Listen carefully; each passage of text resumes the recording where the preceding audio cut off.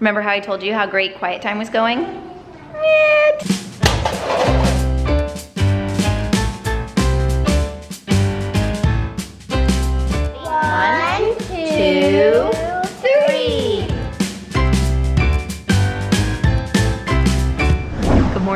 Today is the beginning of our family staying at home for several weeks. This is going to be such an interesting time, a historic time. I'm sure we will all remember this experience and we're all experiencing it in such different ways. Our kids are obviously home. We're going to be doing school at home and we're going to be not going anywhere. All the extracurriculars, the play dates with friends, everything's canceled at this point. So we're gonna try to make the most of this time together. I, for one, I'm kind of a homebody. I really, really love to have that time together as a family. And so we're just gonna try to make the most of it. We actually sat down as a family and explained why we're doing this right now and the purpose behind it so the kids could kind of understand it a little bit better. We tried to reassure them all and then we brainstormed. We made a family bucket list of a bunch of different ideas of things that we can do during this time to keep our attitudes positive and to help the time pass and to just make precious memories. So today we're starting off with some art. So we've studied a lot of different kinds of art as a family, but today we're gonna study one that I actually really enjoy. It's called still lifes. Have you guys heard of still lifes? Yeah. So guys, there's lots of different kinds of art. Portraits are drawings of people, landscapes are drawings of land, and still lifes are drawings of objects. I feel like it looks boring on the outside, but when you actually sit down to do it, it's really challenging and that makes it really fun. Still life. A still life is a group of objects. So Kendra had set up a still life for the kids to draw, but Janae got to it and wanted to eat one of the pieces. So we're talking about what we would want in our still life. And I think there's one object I want to add. A roll of toilet paper. Because that would make it significant where we would always remember why that mattered right now. It's just a thought. So this one's interesting because it's a painting of a still life. And Can you believe this is a painting, not just a picture? So this is Paul Cezanne, and he's a very famous still life artist. I like how he did the fruit with lots of different colors. What? Which one do you like? This one. Oh, this one. Good choice. That one's great.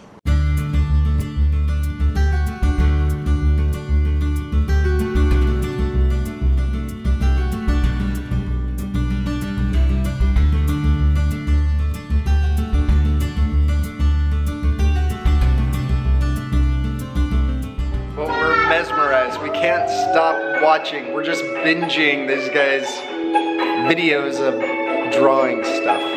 Who is this? Who's the artist? Marcello Barenghi? Unbelievable.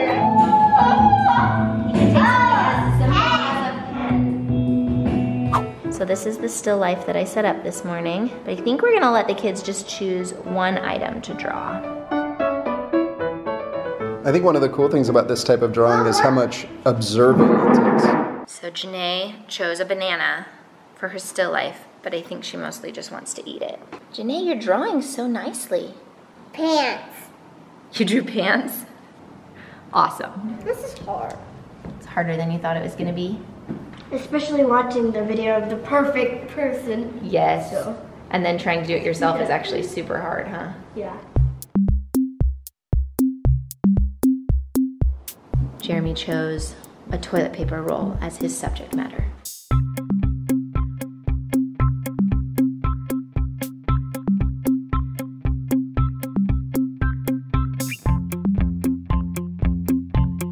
I love the stillness of this still life art moment. It's so quiet. Ta-da! It's a basket of oranges. Baba.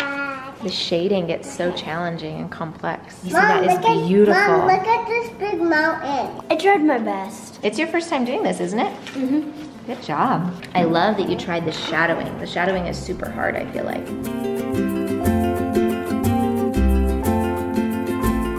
Isn't it fun to like do art? The hardest part for me is how white I need some of the whites and how dark I need some of the darks. Caleb chose to draw a pencil. I love what you're creating there. Caleb, that is so impressive. Look at that detail. I love how you shadowed these. I love the contrast of this being so dark, this being lighter, and then the shadowing. It's really good, buddy. Thanks. Have you been shading with your fingers? Yeah. and now they're getting all black. I never knew toilet paper was such a good thing to draw. I think I think anything is cool when you really stop to observe it and look at mm-hmm. look at how the light hits it. What's really cool about drawing a still life or just simple objects is these are objects that we look at and use all the time, but we don't even think about. And so to stop and look at really the shapes that make up the objects is really fun. Well, I'm really impressed with the kids because honestly, drawing objects is really discouraging because you can see it right in front of you exactly what it looks like and you put it on paper and it doesn't look the way that you want it to. And so I'm really proud of them. I think all of us got discouraged at moments, but we kept trying and that's what's really fun about art is it's not going to be perfect. It's not about being perfect. It's about learning and experiencing and observing the world and seeing it in a different way. Our trash got picked up today, and I'm so grateful for the people that are working to help maintain those parts of society that are so important, like trash pickup. Janae's juggling two babies today. Where are you taking them? To the park. Oh, have fun at the park with your babies. Here. You're here? This is the park? What are your babies' names? Ina and Oka. Wait, this one's Oka? Yeah, Ina. Ina? Our next activity is gonna happen over there, so y'all just need to walk in on over there, okay? All right, line up. It's time to get our dancing on. All right, y'all, today we're gonna be doing some line dancing. You know what line dancing is? It's doing the same dance. We're all gonna do the same dance at the same time in a line. You got it. Y'all are quick. You can just step like this, one, two, three, four, or you can grapevine it. You guys know what that is? One, two, three, four. Then we go backwards. One, two, three, four. Janae had to get her dancing shoes on. You ready to go?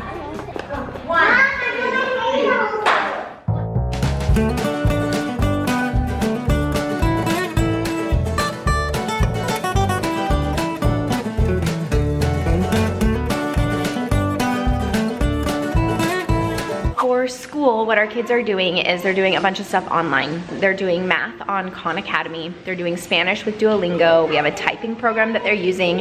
And we have a current events app that we use. It's called News-O-Matic that we enjoy that as well. So this is a set of straws and they have connectors and you can build whatever you desire. I found some more yellow. Super. We're building a little house. That'll be cool.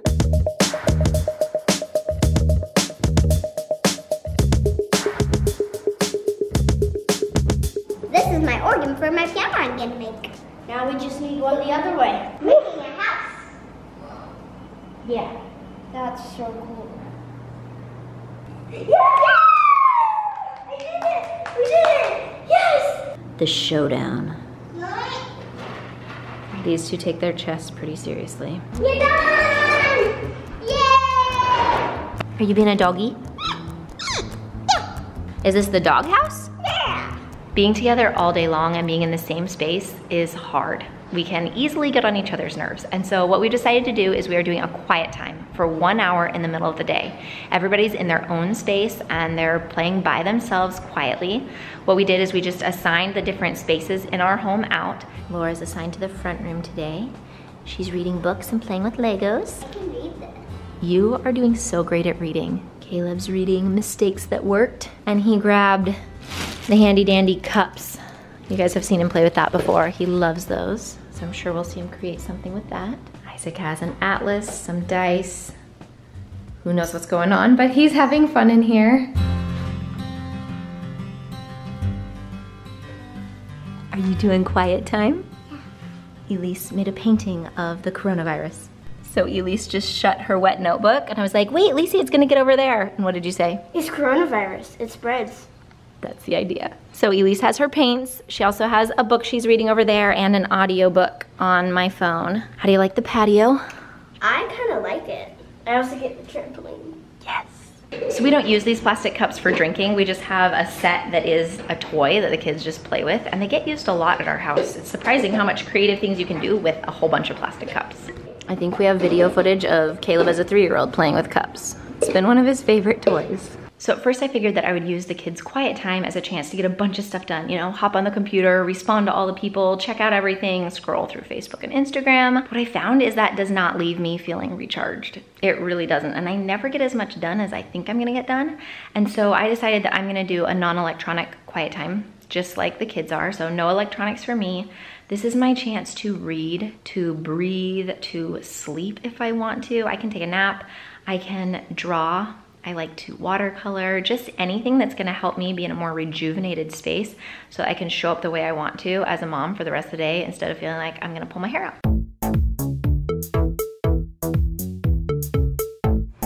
I couldn't even reach the top. It was so tall, oh my goodness. Aw. Not quite enough force, but it was a really great idea. You might need something just with a little bit more momentum.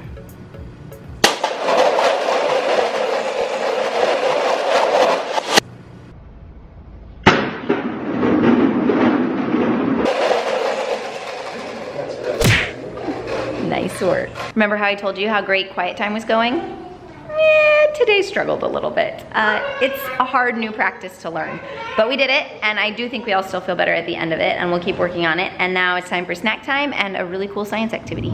Hey everyone, welcome to the Cincinnati Zoo. My name is Jenna. I am a keeper in the Africa department, and we are here at Hippo Cove with Bibi and Fiona. We are taking wonderful care of the hippos and all the animals here at the Cincinnati Zoo. Bibi here is weighing in at 3,500 pounds, and Fiona over here is weighing at just over 1,300 pounds. So while so many people are home right now, we've seen that there are several organizations doing online programs that are really cool. Uh, the Cincinnati Zoo is doing these live streams every day where they go and visit a particular animal and they then do a quiz afterwards after teaching a bunch of stuff about the animal. We just think that's a really neat way that they're connecting with people even while everyone is home. The girls are making some funfetti cake. And I'm helping them. You're a super good helper. Can you pour it in? Good job. High five. you did it! Yeah. Into the pool. Yeah. No shot. No shell. Okay. And uh, perfect first. It's just a lot of practice. That's what I meant. Like the person with a lot of practice. Grabbing the cake. Wash, wash, wash, wash, wash. Make Try sure- 20 seconds of washing. One, two, three. Good job.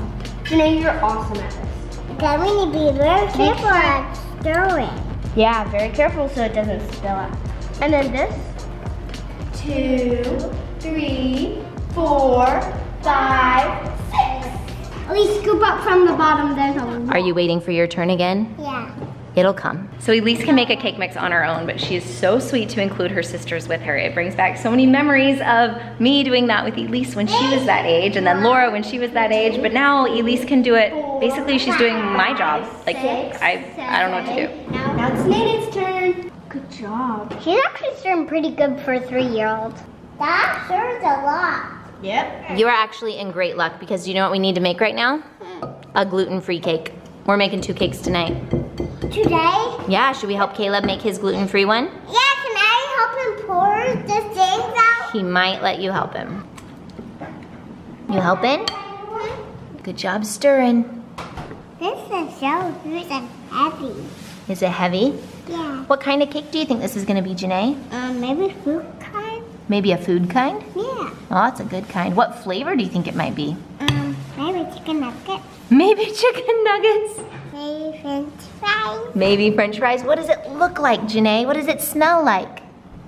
Maybe chocolate. Yeah, maybe chocolate. Who knows? The kids are watching a movie, and don't worry, we are eating something besides cake tonight. Jeremy actually made tacos. Looking legit. Tacos. Yum. These grapes are the best. They're so crisp. and they're sweet. They're not sour at all. They're oh. crunchy. Well, now the kids are going for them. I feel like with berries and grapes and watermelon, like sometimes they're not as great and sometimes they're amazing. These grapes, they just bring me so much joy. It's all about the texture and sweetness, and it's hitting it on both. And the entire meal, actually. Jeremy nailed the tacos. Well, this toy has gotten a lot of traction today. All the things that have been built. What are you girls playing? We're playing fish.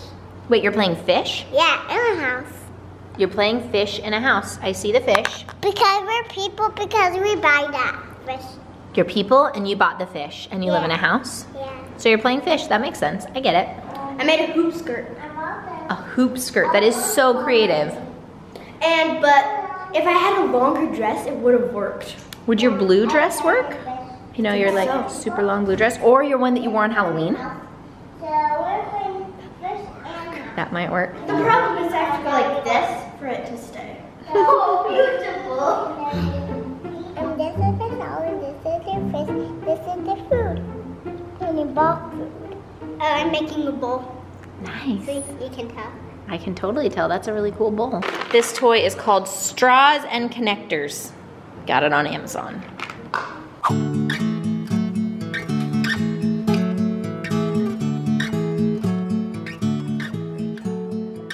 Here's Caleb's cake. It's chocolate on the bottom, gluten-free, and then funfetti frosting on the top. How'd it turn out? Um, I'm done. And thank you to myself too. I'm grateful that we could not be alone in this part of time. Like, I'm glad we're all together. You're glad that we're quarantined together? As a family. I'm glad that we have enough food to go through the quarantine. I'm grateful that we have fun stuff to do in our house.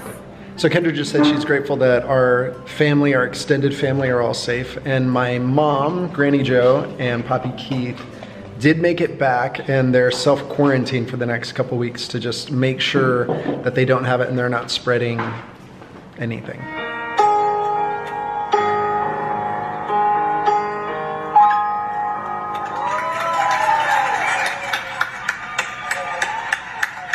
Where is this one at? This is in Spain, I think. In Spain, it's a balcony performance. It's amazing how we're stuck at home and you can feel kind of alone.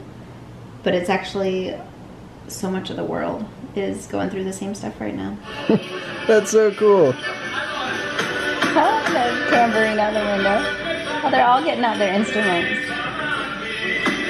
Is it him that There's an accordion up there. So this is a fitness instructor from a rooftop in Spain doing fitness classes for everybody. Oh, How join cool. From their balconies. That's awesome. Good night. Treehouse out. Henry and I actually had a cruise scheduled in just a week or two for our family. It was going to be our big surprise vacation for our kids.